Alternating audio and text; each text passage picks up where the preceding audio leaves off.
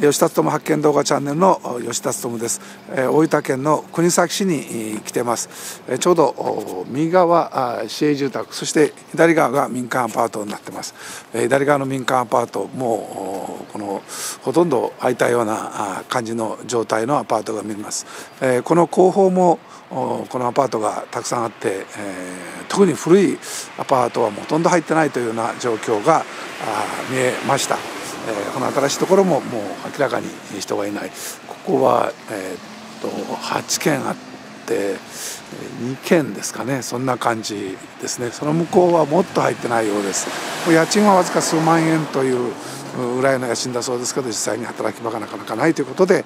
えー、この皆さん、うん、このアパートをせっかく建てた皆さんがこうした状態になっている。ですこちらはキャノンの大分キャノンの工場です。非常に、えー、大きな広大なあところですがここがリーマンショック以降大きく人をこの派遣切りということで有名にもなった工場です。非常にキャノンは世界のキャノンとして、えー、会社自体は大規模になってきてますがこうした、えー、この国内の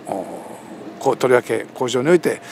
大きなこのリーマンショック以降人を減らすというのが進んできたというのが実情です。それがこの周辺のアパートに見えるところです。この円安ということの中で果たしてどういうになっていくのかなかなかこの事態が一変するという状況には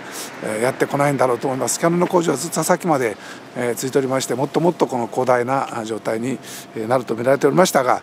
今の状況になって静かな佇まいの中でえー、今中で皆さん方も働いておられるんだろうと思います、まあ、そうした意味では目の前にライブの車があります。しこの先にも駐車場があるそうです。ちょっと少しこの周辺の方にもお話を聞いてきました。